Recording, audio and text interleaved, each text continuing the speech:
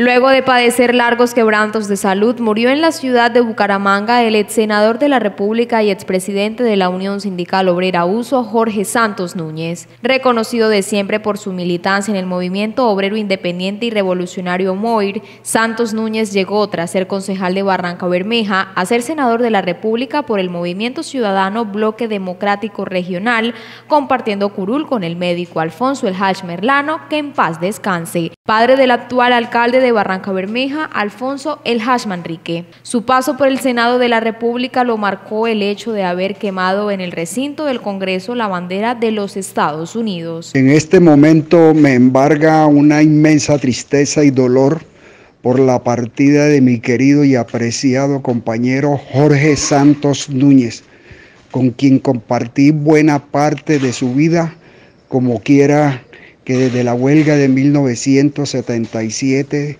nos pusimos al frente de rescatar la personería y la dignidad de la Unión Sindical Obrera Uso.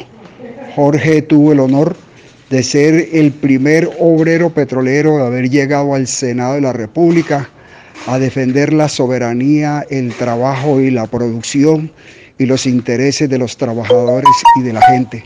Barranca Bermeja y los trabajadores petroleros le debemos un gran homenaje que una vez pase esta tragedia mundial que estamos viviendo con la pandemia, se la tenemos que hacer en Barranca Bermeja. Tras lograr su pensión de jubilación, Jorge Santos nunca se apartó de la actividad proselitista en la que se vio activo hasta sus últimos días, de allí su participación activa en las pasadas elecciones en Colombia. La ciudad de Barranca Bermeja pierde este martes a uno de sus más reconocidos líderes, paz en su tumba.